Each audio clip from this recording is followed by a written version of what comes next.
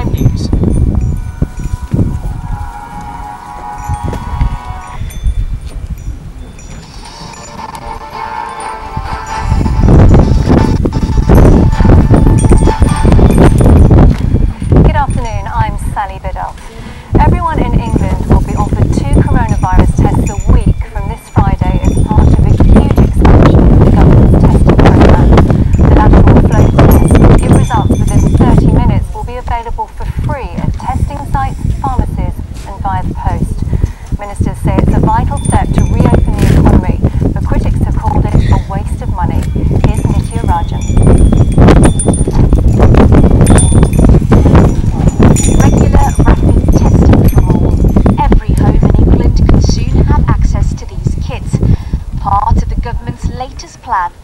Quell the spread of the virus.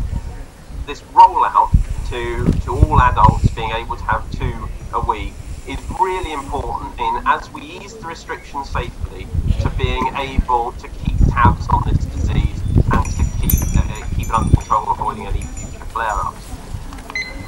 The timing is key, with more than 31 million people having already received their first dose of the vaccine. The government is hoping more tests will mean more freedom. But Labour argue a key group is being left out, those who will have to self-isolate and lose pay as a result.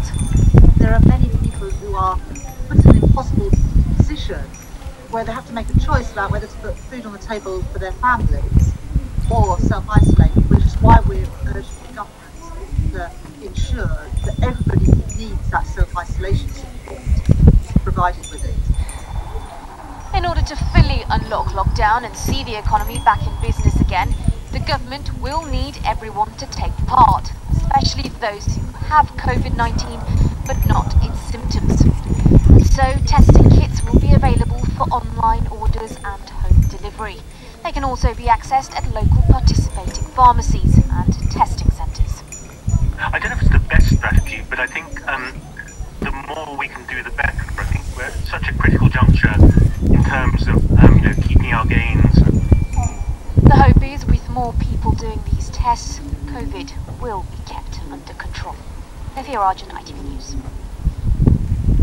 A new traffic light system for foreign travel is also expected to be unveiled later. It could allow people to go on summer holidays abroad, though some countries will be off limit. Ellie Pitt is at Heathrow now for us. Ellie, how will this work? Well, countries are going to be put into traffic light categories, so red, amber and green. And which category will determine the rules that you need to follow if you visit one of them. So for example, if you go to a green country, you won't need to isolate when you come back, but you will need to take a test while you're still out there and one when you come back too. If you go to an amber or a red country, then the isolation or hotel quarantine will still apply.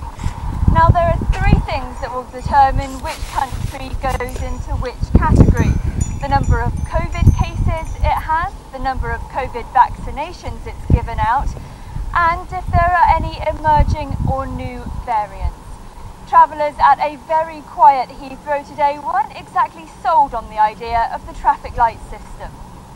As someone who's vaccinated, I'm not sure what the point is of getting three COVID tests in the span of 10 days. I think everyone should take care of their immune system. Because it's one thing it's one thing to rely on government regulations, but you need to build your health and your immunity anyway. Now, it's worth remembering that if you live in England, the earliest you'll be able to travel abroad is May the 17th. And now we don't know which country's going into which category just yet, but the government's task force on this will be giving its recommendations to the Prime Minister in exactly a week's time. Some of the finer details shortly after that. Heathrow, thank you. Well, our political reporter Shehab Khan is here with me now. Shehab, the Prime Minister is expected to confirm more details. What do you think is coming?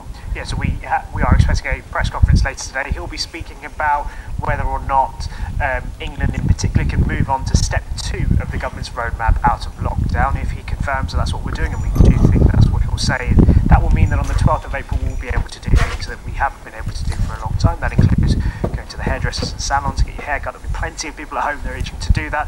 Gyms will reopen, so you can do some exercise uh, at gyms. But also, hospitality will be able to serve uh, food and drink outdoors. It means you can go to your favourite restaurant or your pub and you can order a drink and you can eat outdoors. They are significant things that people have been waiting for for some time. That does apply to England only. Um, at the moment, it appears that we are on track to do that. There are plenty of Conservative MPs that want us to unlock faster, but the Prime Minister will address those later this afternoon. Shehab, thanks very much. Hairdressers and barbers across Scotland reopened this morning as further coronavirus restrictions were lifted there. It's four months since Scots were able to get a haircut.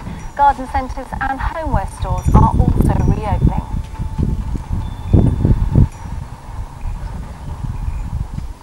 A vigil has been held to mark the first anniversary of the death of a railway worker.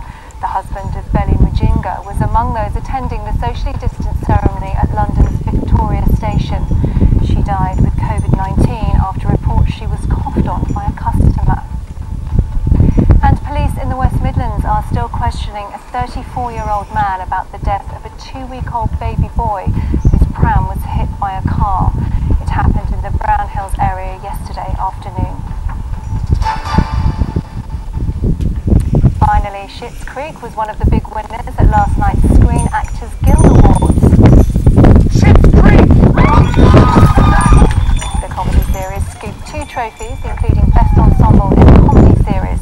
The Crown also won two awards in the Drama Series category at the virtual ceremony for Best Cast and Best Female Actor for Gillian Anderson's portrayal of Margaret Thatcher.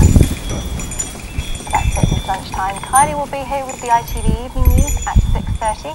The news where you are follows the national weather. From everyone here, though, on your bank holiday team, bye-bye.